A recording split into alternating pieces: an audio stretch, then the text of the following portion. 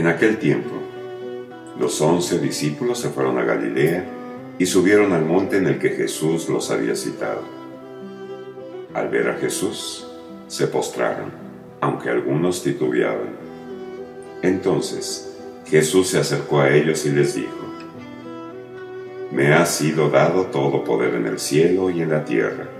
Vayan pues y enseñen a todas las naciones, bautizándolas en el nombre del Padre, y del Hijo, y del Espíritu Santo, y enseñándolas a cumplir todo cuanto yo les he mandado.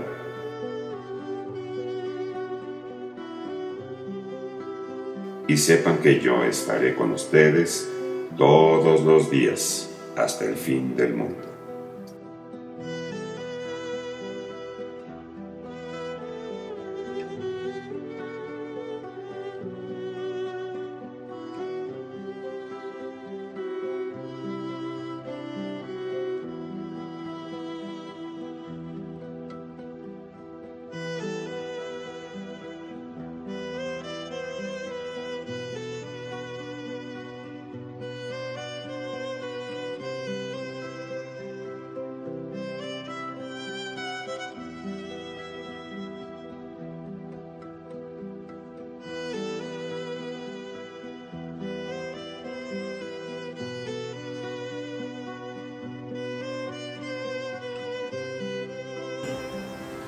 Un saludo a todos ustedes que nos siguen como todos los domingos en esta reflexión del Evangelio.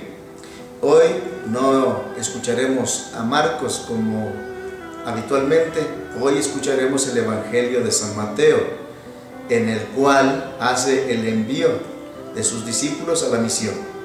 Es la primera vez que se presenta la iglesia en su vocación esencial de ser misionera de llevar la evangelización a todas las naciones, de bautizarlas en el nombre del Padre y del Hijo. Y hace también una íntima y estrecha relación con el Evangelio de la semana pasada. Recuerdan que Jesús nos recordaba a través del evangelista San Marcos que la voluntad de Dios es que todos los hombres se salven, que todos nos salvemos, que todo lo que Dios creó es una ayuda eficaz para nuestra salvación, que lo que Jesús nos ha dejado a través de su iglesia, como son los sacramentos esencialmente, y todos los demás medios son para alcanzar la salvación. Les decía que es más fácil salvarse que condenarse, porque en el plan divino no hay nada que nos ayude a la condenación, todo nos ayuda a la salvación. Y lo que me encanta del Evangelio así como lo presenta Jesús en el tema de la salvación, es que presenta todo en positivo y nada en negativo. Nada que nos impida alcanzar la salvación, llegar a la casa del Padre. Por eso yo creo que está muy ad hoc el mensaje del Evangelio de hoy con el tema de el año de la fe, con el plan diocesano de pastoral y con todo el plan de evangelización de la Iglesia Universal. El contenido está claro, la meta está clara, la salvación. Los medios Jesús nos ha dado. Ahora nos toca a nosotros, iglesia. Y cuando digo iglesia no me refiero a la jerarquía, me refiero a todos los bautizados.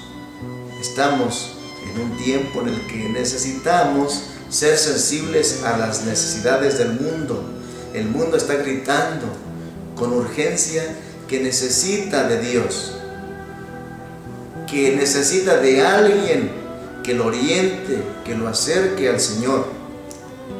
Nos toca a nosotros poner la creatividad, proponer, exponer formas nuevas, ardor, entusiasmo para que podamos atraer a todos hacia Dios. Es que la forma en que estamos presentando a lo mejor el contenido de fe es un contenido que se presenta como prohibiciones, que se presenta como requisitos y más requisitos, se presenta como reglas y más reglas. Creo que Jesús nos enseña a que la vida hay que descomplicarla que Él vino a descomplicarnos la forma de vivir nuestra fe y nuestra religión, que ser cristiano es más sencillo de lo que parece, que alcanzar la salvación es mucho más fácil, que el camino de la santidad es accesible y asequible para todos. Les quiero invitar, ánimo, se puede, se puede ser cristiano, se puede ser católico, se puede ser un hombre amigo de Dios, amigo de Jesús en este tiempo pero se necesitan hombres y mujeres valientes que se decidan poner su creatividad y su empeño al servicio del Evangelio. El Señor esté con ustedes y la bendición de Dios Todopoderoso, Padre, Hijo y Espíritu Santo, descienda sobre ustedes, sobre su familia y permanezca para siempre.